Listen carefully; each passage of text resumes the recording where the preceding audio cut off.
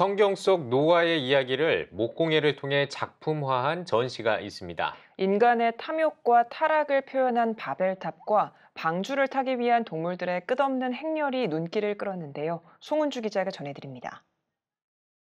노아의 망치 소리와 동물들의 울음소리가 전시관을 가득 채웁니다.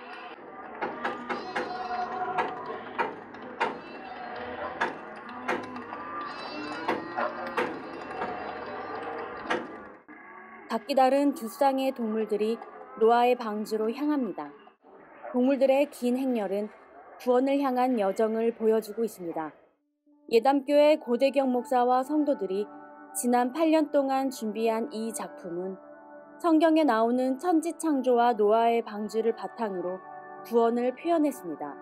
노아의 방주보다도 오히려 구원이 저에게는 의미가 크고요. 보여지고 만져지고 느껴질 수 있는 그리고 모든 사람이 보는 순간 이해되게 하고 싶었던 것이 이 작품의 가장 중요한 컨셉입니다. 스토리를 통해서 이 시대에 이 팬데믹 사회에 특히 어, 구원의 필요성을 좀 더 나타내고 싶고요.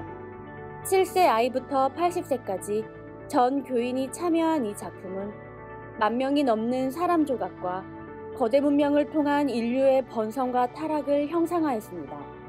아라라산 위에 놓인 노아의 방주와 동물들, 그리고 타락한 세상을 표현하기 위해 50종이 넘는 특수목을 사용했습니다. 하나님의 천지 창조부터 노아의 방주까지 하다 보니까 어, 소재는 나무지만 이 나무에 있는 그 특이함과 그리고 하나님의 섭리를 나무를 통해서 표현하고 싶었어요. 또 예수님께서 이 땅에 오셔서 목수를 또 특히 선택했다는 부분이 되게 마음에 큰 어, 선이 긁어지게 되어 그어졌고요. 고대경 목사는 언제나 작품을 전시할 수 있는 상설 전시관을 통해 더 많은 사람들이 그리스도의 메시지가 전달되길 희망하고 있습니다. 방주를 통한 하나님의 구원 이야기. 노아의 방주전은 오늘 28일까지 수원 온누리 비전교회에서 이어집니다. CTS 뉴스 송은주입니다.